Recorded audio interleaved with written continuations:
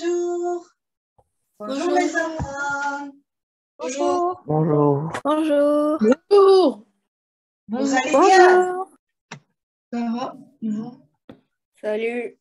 Oui, ça va. Est-ce que vous voyez bien le tableau? Oui. Oui. Oui. Oui. Euh, Donc, aujourd'hui, on va co- continuer nos cours. Euh, On avait découvert les nombres relatifs. On va le continuer. Le repérage sur, une- sur un orthogonal et comment on compare des nombres relatifs. Maintenant, on va se concentrer de notre cours et parce qu'on a pas mal de choses à faire. Avant, euh, on passe, je sais que euh, le cours euh, dernier, euh, j'ai compris que parmi vous, il y en a qui sont déjà qu'est-ce que c'est un repère orthogonal, mais avant ça, j'aurais aimé qu'on euh, rappelle ensemble qu'est-ce que c'est les nombres relatifs. Et dans les nombres relatifs, on a quoi comme nombre? Qui veut me répondre? Gibril. Gibril? Euh, dans, les nombres relatifs, euh, bah, les nombres relatifs, c'est des nombres qui peuvent être, euh, au-dessus et en dessous de 0. Et, euh, et euh, ils sont euh, opposés. Par exemple, il y a 5 qui est au-dessus de 0 et il y a moins 5 qui est en dessous du coup. Donc, les nombres qui sont au-dessus de zéro, on appelle le comment, Gibril, Euh, les nombres négatifs, négatif, et les autres, les, les nombres opposés de négatif, c'est les nombres positifs. Les nombres positifs. Oui. Très bien. Donc, euh, je vais renverser un peu le cours. On va d'abord regarder comment on compare des nombres relatifs. Des nombres relatifs, on pouvait présenter sur, un- sur quoi? Sur une droite Hermione. Hermione, pardon, j'ai j'ai mal avec ton prénom. Sur une droite graduée. sur une droite graduée. Euh, je vais changer mon euh, stylo. Que vous voyez bien. Après, qu'est-ce qu'on peut dire pour ça? Hermione? Hum, bah, c'est une droite. C'est c'est une droite avec, euh, avec euh, l'origine. Voilà, origine, c'est quoi? Euh, c'est zéro en général. Oui, Et après, euh, il y a une unité de longueur. unité de longueur des deux côtés des zéros. Et on met des, des chiffres des fois. on met, on met les nombres parce qu'on avait dit que de chaque point de cette droite correspond un nombre qu'on appelle abscisse. Les nombres positifs se trouvent où? À part Hermione, quelqu'un, Lou, Les nombres positifs se trouvent à droite, à droite de, 0. oui, et? Les nombres négatifs se trouvent à gauche de 0. à gauche à zéro. Très bien.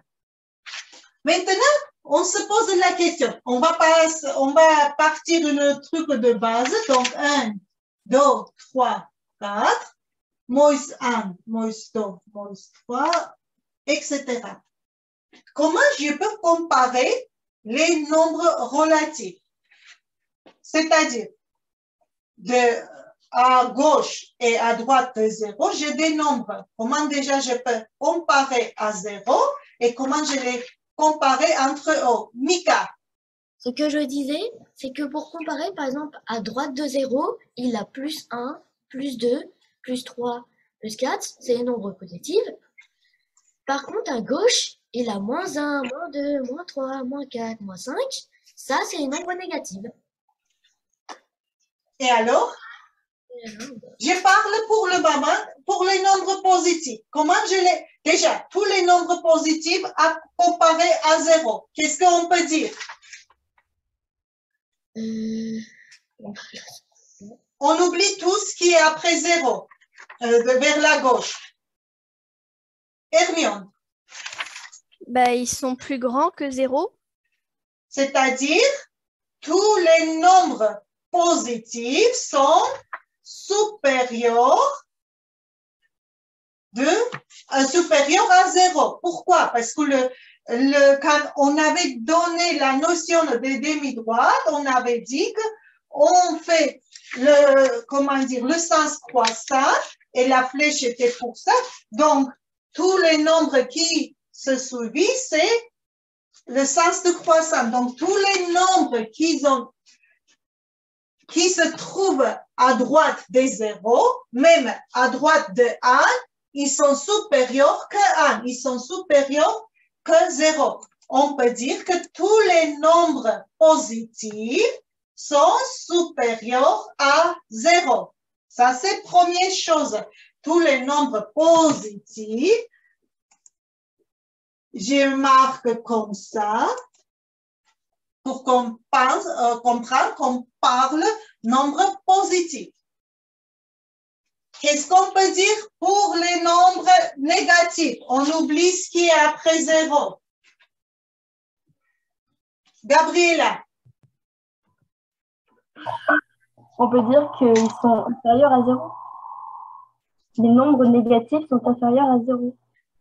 sont inférieurs à zéro. Tous les nombres négatifs sont inférieurs à zéro. Très bien. Maintenant, il nous reste comprendre dernière chose. Si j'ai deux nombres posi- euh, négatifs, comment je vais les comparer? Mohamed peut m'aider? Oui. Si j'ai deux nombres positifs ou négatifs Deux nombres, deux nombres positifs, Oui, ok. c'est facile. Moi, je veux les deux nombres négatifs. D'accord. Euh, on va chercher euh, celui qui est le plus éloigné de zéro. Ça va être le plus grand.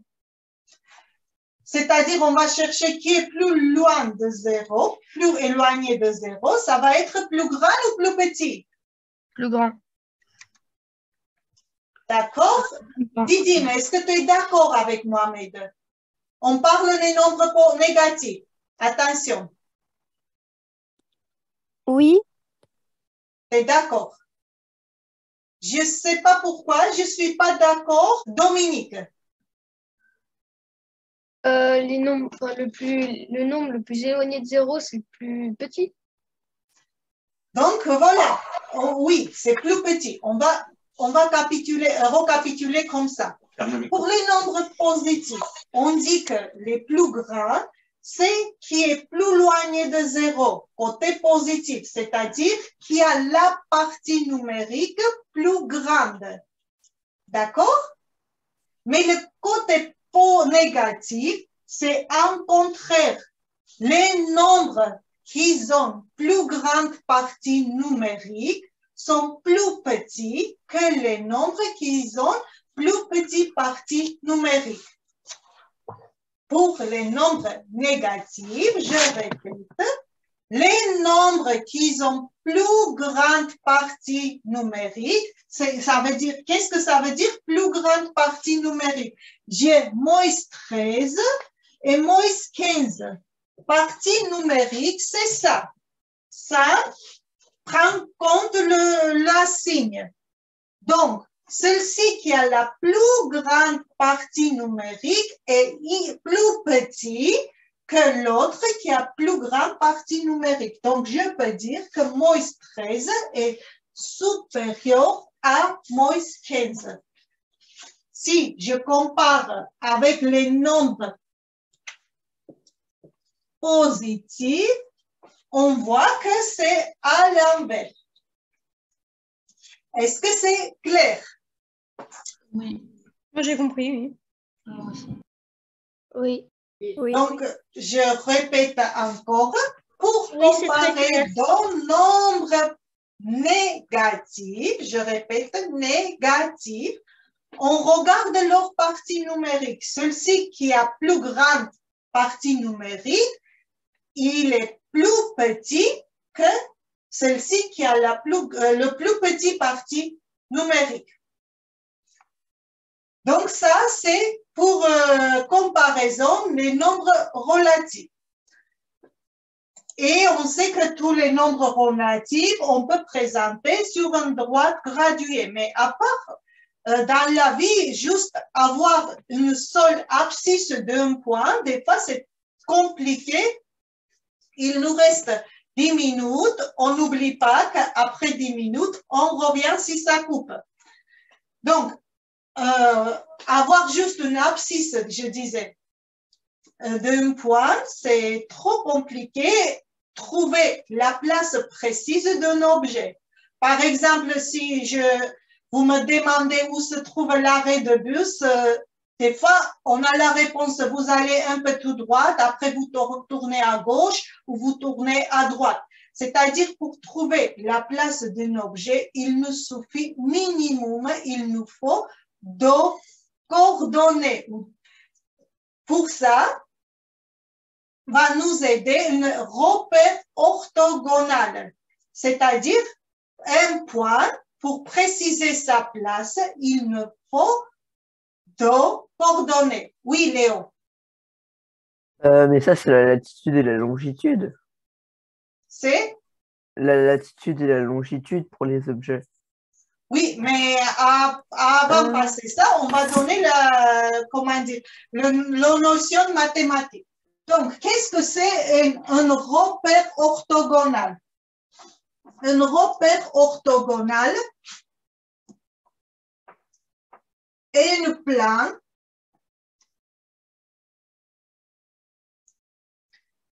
constitué d'axes gradués qui sont perpendiculaires. Donc, deux axes gradués qui sont perpendiculaires et même origine, on appelle un repère orthogonal. Axe, ça veut dire j'ai l'unité de longueur, j'ai la direction de croissance,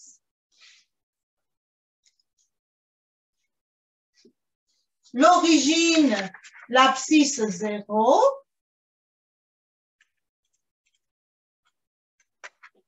Le premier axe horizontal, on appelle l'axe des abscisses. Abscisse.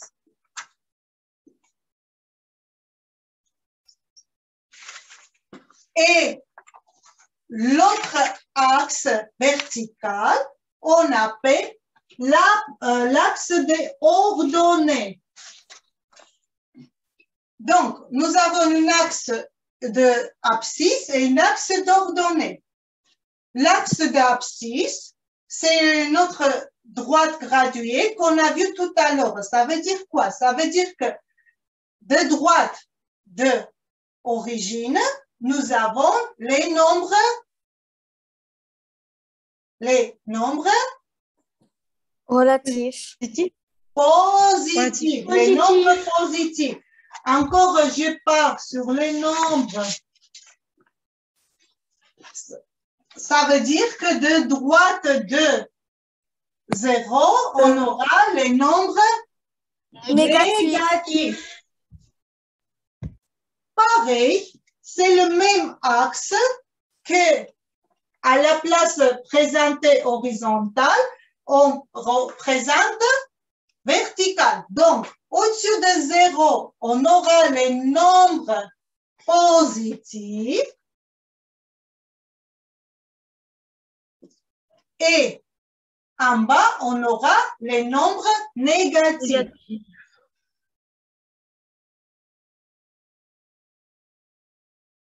Qu'est-ce qu'on voit? Euh, on voit que nos deux axes ont coupé le plan en quatre cas. Le premier parti, nous avons que les nombres positifs. Là, on voit que là, on n'a que les nombres positifs, là, négatifs. Là, sont tous négatifs.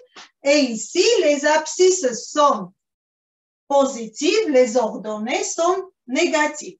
Maintenant, on va comprendre comment on peut trouver le coordonnée d'un point. Par exemple, j'ai une point ici.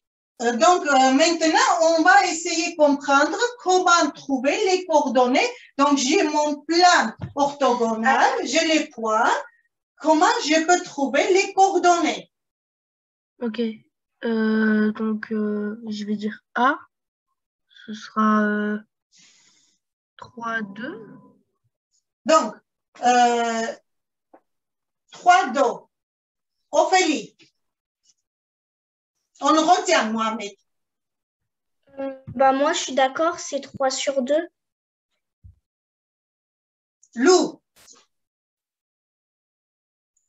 Alors moi, je vais dire y est égal à 3 et x est égal à 2. Je suis d'accord avec Lou et pour qu'on puisse comprendre, j'explique. En fait, si j'ai le point, comment je vais trouver les coordonnées? Déjà, il y a une règle. D'abord, on note l'abscisse et après, qu'on note l'ordonnée. D'accord?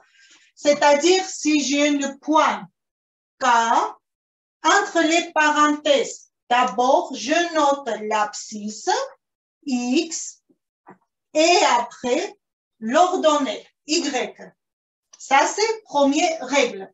Deuxième règle, pour trouver l'abscisse et l'ordonnée, moi, je trace une, un perpendiculaire sur l'axe X.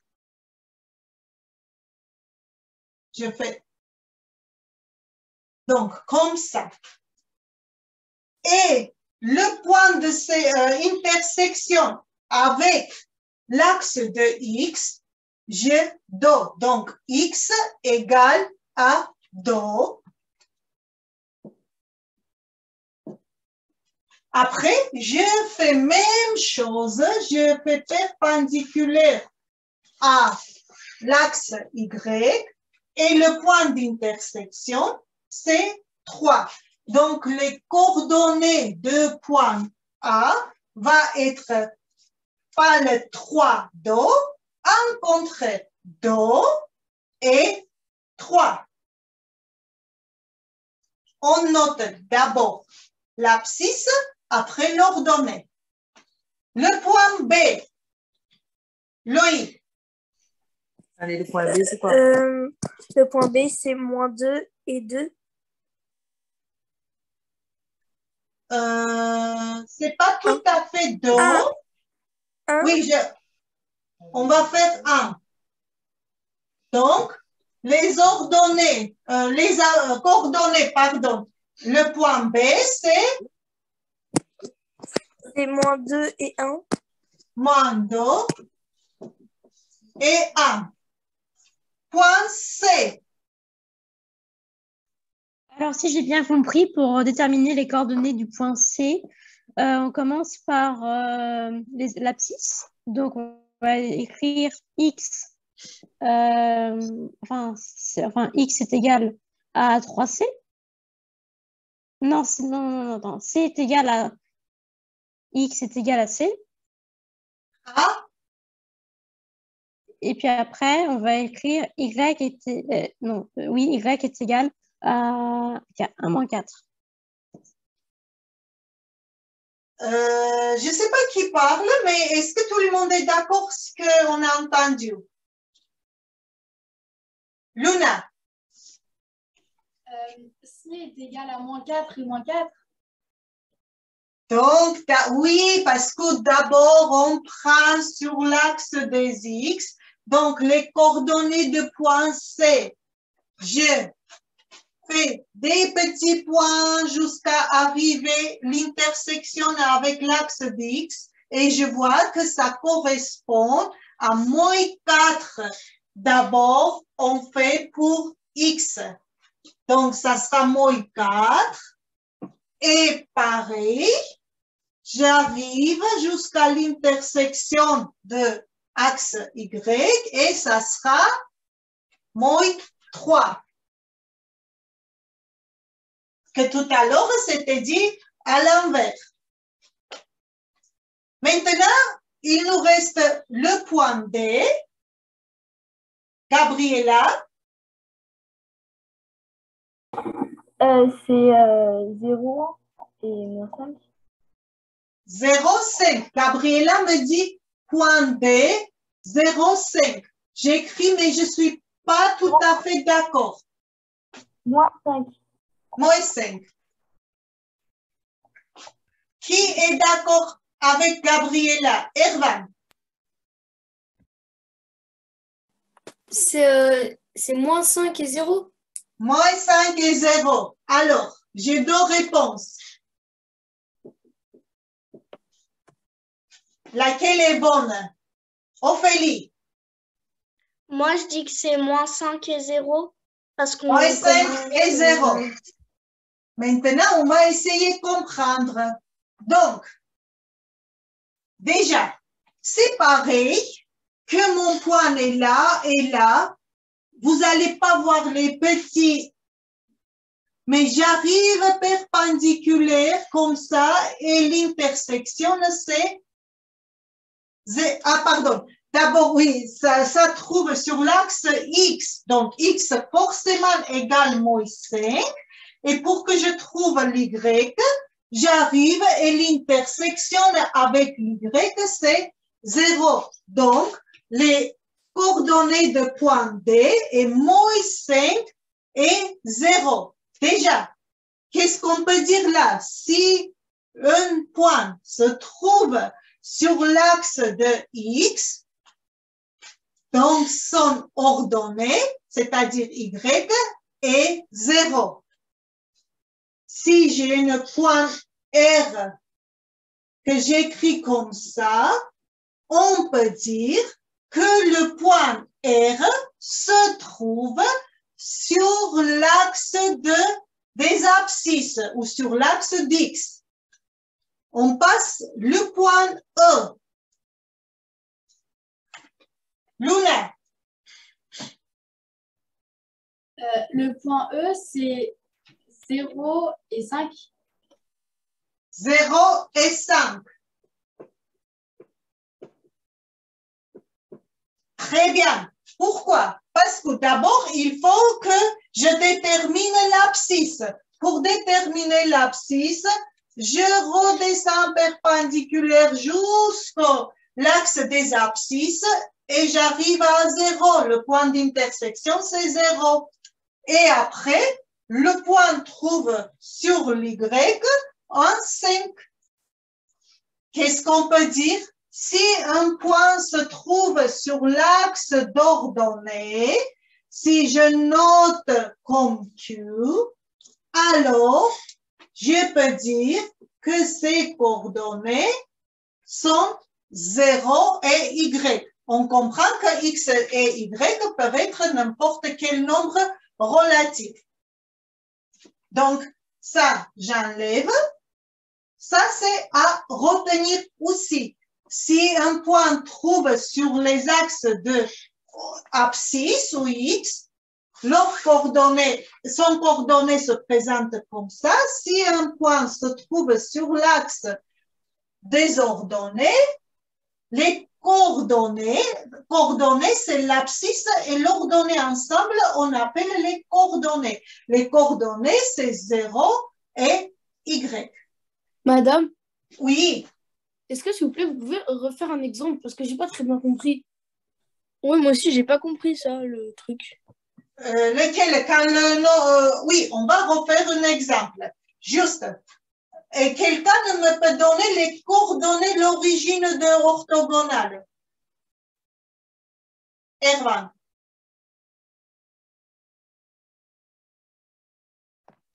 0 et 0 0 et 0. En général, l'origine, on note avec un O et les coordonnées, c'est 0 et 0. Très bien. Donc, euh, maintenant, je vais effacer tout ça. On va faire un autre exercice pour ceux qui n'ont pas bien compris et après on passera les exercices dans le livre. Les enfants, pour qu'on ne perde pas le temps, on va faire faire à mesure et vous, vous, vous compléterez et à mesure, d'accord? Qui m'avait dit qu'il avait mal compris? Moi, Alors, tu es qui? c'est Hamza. Hamza. Donc, Hamza, est-ce que tu peux nous aider à trouver, avant de passer tout ce que j'ai écrit ce côté-là, d'abord, est-ce que tu peux nous aider à trouver le- les coordonnées de point F? Euh, alors 2 et 3. 2 et 3. Qu'est-ce que j'avais écrit? J'avais écrit ici un cas, euh, c'était là-bas, mais je réécris ici. D'abord, on note l'abscisse, après on note l'ordonnée. Hamza. Donc, abscisse, c'est- c'est où? Euh, c'est sur euh, la- l'horizontale. Horizontale, très bien. Donc, Hein? Deux points F, Hamza. Tu descends perpendiculaire jusqu'à arriver l'axe de X. D'accord? Oui. Où tu trouves l'inter- le nombre, c'est quoi? C'est 3, mais j'ai une question. En fait, c'était le, le, le E tout à l'heure qui m'avait. que je m'étais dit c'était bizarre. Parce qu'il était sur la ligne. euh, sur le. le, le Oui, oui, oui. Hamza, on a des, des points sur la ligne aussi, on refait, d'accord? Mhm. Donc, les coordonnées de F. Donc, tu me dis? 2 et 3. Hamza, d'abord, on dit l'X, après l'Y. 1. 1. Le abscisse de point F, quand tu arrives jusqu'à l'intersection d'X, tu vois quoi? Euh, bah, je vois 3. 3. Donc, tu dis d'abord 3. Ah, oh, j'ai compris, ok. En fait, j'avais pas compris, c'était X, Y. euh, là, j'ai compris. 3 et C'est d'abord l'horizontale, puis après le truc vertical. Très bien. Ça, c'est clair? Oui. Le point E. L'autre, quelqu'un avait dit qu'il avait mal compris. Maëlys, Euh, je peux le faire? comment Maëlys, pardon? Moins 1 et 1. Moins 1, oui, très bien. D'abord, on trouve X, après Y. Le point G. Euh, Mohamed, Euh, moins 2 et moins 2. moins 2, ouais. Ça, c'est, oui, sauf que je sais pas, d'abord, tu as choisi lequel, moins 2. Donc, d'abord, on choisit l'X, après l'Y. Il me reste deux points, H et I. Après, on va voir comment on peut, si on a les coordonnées, comment on peut présenter les hum, Lucas. Euh, du coup, euh, H, c'est euh, moins 5 et 0. Moins 5 et 0. H. Euh, J'explique pour Hamza qui m'avait dit qu'il avait mal compris quand ça trouve sur l'axe. Hamza, imagine que tu vois pas le côté vertical. D'accord? Quand tu as le point H ici, c'est-à-dire tu as juste un axe gradué. Le point, euh, le- l'abscisse de point H va être quoi? Oui, 5. Oui. Si on oublie tout ce qui est vertical, imagine que tu n'as pas. Donc, ça sera moins 5. Et après, voilà, hop, il est là. Pour que je trouve Y, c'est pareil. Parce qu'au tout début, on a dit que le X et l'Y sont J'ai une perpendiculaires. question. Donc- Est-ce que ça veut dire que est-ce que ça veut dire que si H, il était à un truc avant, il était à moins 4, et ben ça aurait été 4. Son, son... Enfin, ça aurait été moins 4 et 4. Moins 4 et 4, ça va être là. Mhm. Mais, Mais quand il trouve sur l'axe d'X, si H est là, son abscisse est moins 4, mais l'Y, l'ordonnée est 0. Pourquoi? Imagine que, voilà, je fais avec les petits points perpendiculaires jusqu'à arriver l'intersection d'Y. J'arrive où? Zéro. À 0. D'accord? C'est la même chose. Regarde ici. Je fais perpendiculaire jusqu'à arriver l'Y. Ici, je touche mon dos. Mais là, quand j'arrive, je touche zéro. C'était- C'est bon, Hamza? Oui, merci, madame. Donc, si c'est bon, Hamza, tu me trouves, euh, je vais noter ici. Euh, et j'ai déjà noté Q. Allez, dis-moi les coordonnées de Q, Hamza.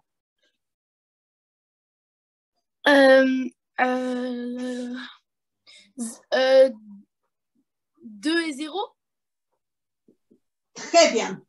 Quand j'écris, donc je suis d'accord. Quand j'écris pas, donc je suis pas d'accord. Et le point I. euh, 4 et 0 Attention. D'abord, on dit l'Y. Luna. Euh, c'est euh, 0 et moins 4. 0 et moins 4. Très bien.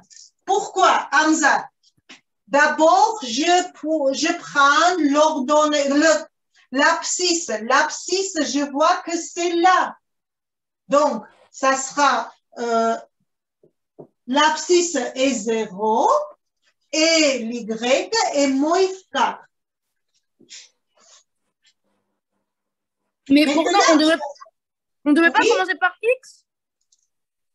Comment on part Déjà, je, je vois, ah, j'arrive en perpendiculaire pour trouver l'intersection avec X, comme j'avais fait ici. J'arrive en perpendiculaire pour trouver la intersection avec X. Ça, j'étais sur 3. Là, j'arrive à 0. Pour ça, je sais que c'est 0. Ah. Et après, j'oublie tout ce qui est horizontal. Là, je suis sur moins 4. D'accord? Maintenant, comment je construis, euh, je, je place le point A si j'ai les coordonnées Do et 1 Gibril, tu peux m'aider? Euh, je n'ai pas compris la question. Regarde, là, j'ai point A avec les coordonnées Do et 1. Où je déplace, où je place mon point A? Euh, bah, je le place à, euh, déjà sur la droite euh, horizontale, on place à 2. Oui. Et ensuite, à la verticale, on monte en haut et on va jusqu'à 1. C'est-à-dire, avec mes des, des petits points, je fais perpendiculaire le point, l'axe, sur la- l'axe de X. Donc, je sais que le point A a l'abscisse Do, c'est-à-dire il va trouver quelque part ici. Pour ça soit clair, j'enlève tout ce qui nous gêne, ce qu'on a fait déjà. Donc, voilà, je sais que la X de point A, c'est Do. Sur l'axe d'X, je choisis le Do et je fais perpendiculaire sur l'axe d'X. Mon point A se trouve quelque part ici pour que je comprenne quelque part ici où je regarde l'ordonnée. L'ordonnée, c'est 1. Donc, je prends l'ordonnée sur l'axe des Y et avec mes points, j'arrive, le point d'intersection, ça va être A. D'accord? Oui. Alors, euh, pour le B, moins 3 Do. Euh, je peux faire? Euh, si j'ai pas, Luna, euh, je sais pas faire participer tout le monde. Merci, Jibril. Ok, ça marche. Luna, Le B? Allez. Je fais le B? Oui, oui, oui, oui. D'accord. Alors, euh, bah, on- sur la droite euh, X, donc sur l'abscisse, on va chercher le moins 3. Et donc, on sait que l'abscisse, c'est moins 3. Et je fais encore mes petits points. Et après, sur la, grille, sur la droite euh, de- d'ordonnée, c'est le 2. Donc, euh, on va chercher l'intersection. Et voilà. B. Le point C.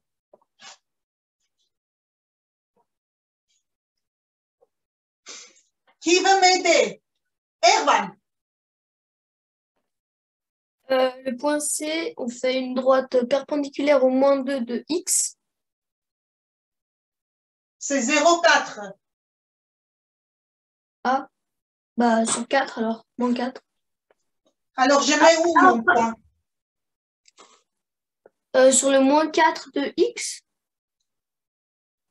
Euh, Erwan, je réécris. euh, de y, pardon. De y. 0, je prends sur l'Y? Sur le moins 4, euh, non, le 4 de, le 4 de y.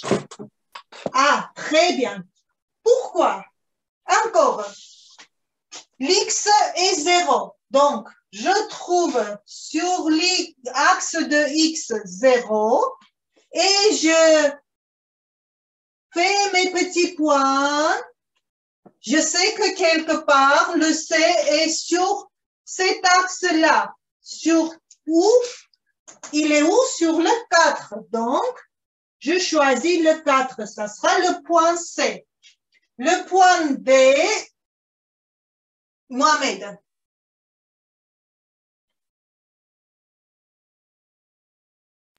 Mohamed? Mhm. Oui. Oui, Le...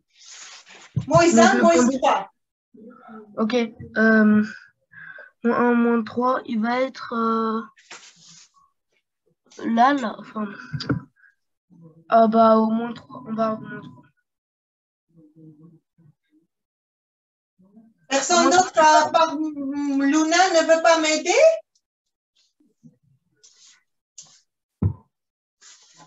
Parce que Mohamed... Allez, Luna, si Mohamed ne comprend pas, on réexpliquera. Euh, le D, Le D, D. donc on- sur la droite X, euh, on regarde le moins, 3, le moins 1. Sur la droite de X, parce que c'est mon X et ça c'est l'Y. Très bien.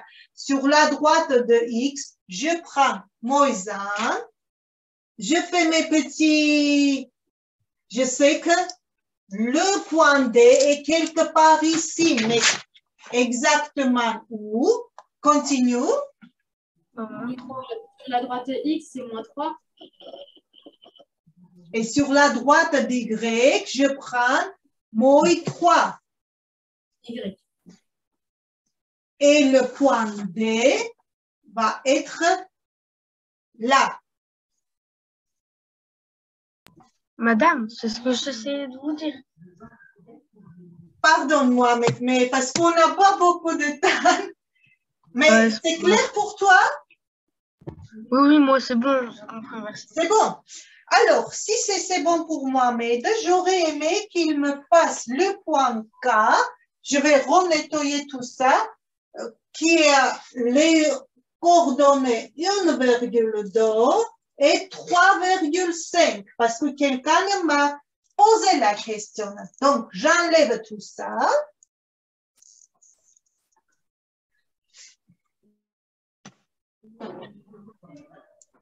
Allez, Mohamed. Le point K Le K, j'écris ici 1,2 et 3,5. Ok. Euh, 1,2, ça va être euh, sur la droite euh, X. Oui, ça va être de X, mais où? Tu Euh, me dis à peu près, je, je t'aiderai. Ok, ça va être sur le, le, le 1 à droite de 0. Et, euh, et euh, sur le, le 2 de Joe. D'abord, 1,2, ça va retrouver entre les quels nombres entiers? Sur l'axe de X, Ça va être sur 2. entre 1 et 2. 1,2, ça veut dire que à peu près, ça sera plus près à 1 ou à 2 1. 1, très bien. Donc, ça va être 1,2. Et l'autre, Euh, 3,5. Madame, oui, madame, mais si le, le point, euh, par exemple, si euh, le point A, il est entre le 1 et 2, ça va être quoi? Ça va être... euh, Du coup, ça va faire quoi comme résultat?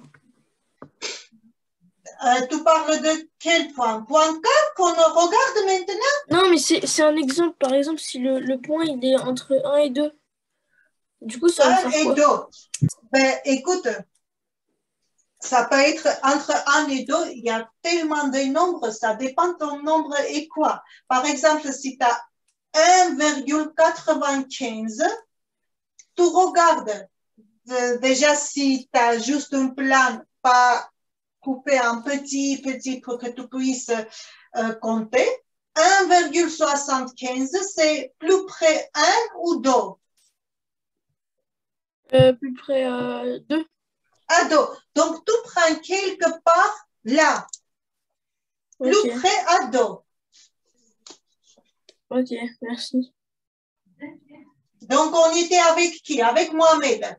Mohamed, tu trouves le 3,5, c'est où? Euh, Dis-moi. C'est euh, sur la droite X.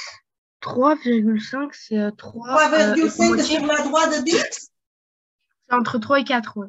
Sur la droite 3 et 4, sauf que sur la droite de X. Y. Y. Donc, c'est au milieu de 3 et 4. Donc, je le- l'abscisse et l'ordonnée. Maintenant, comment je trouve le point K? Euh, bah, c'est perpendiculaire. Voilà, pour ça, je remonte perpendiculaire et j'arrive. Et mon point K va être là. Merci Mohamed. De rien. Merci à vous. Et le 0,4 et moins 2,1. Lou,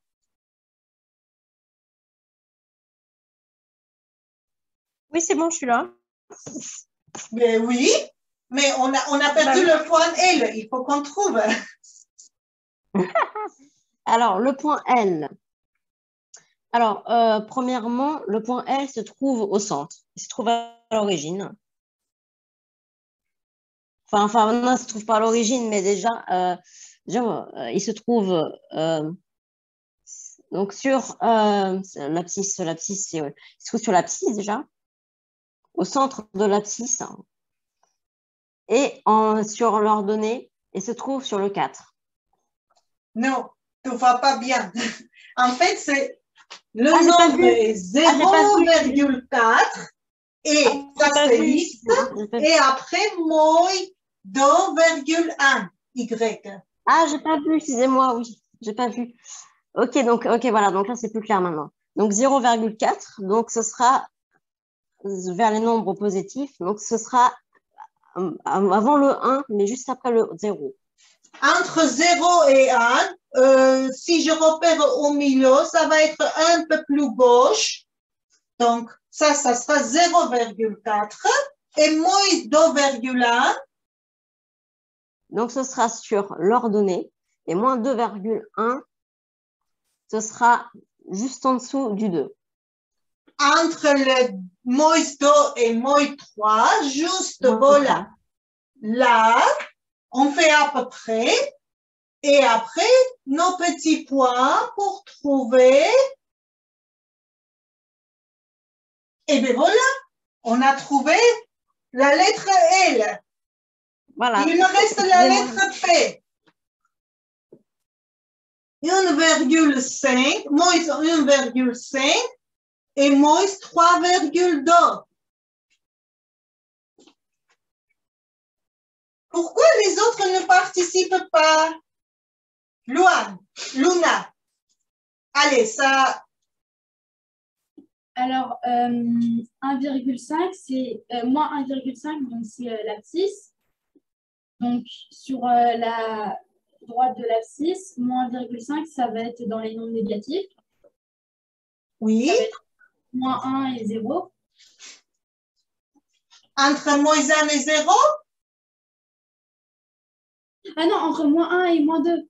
Très bien. Ah, C'est au milieu de moins 1 et moins 2. Très bien.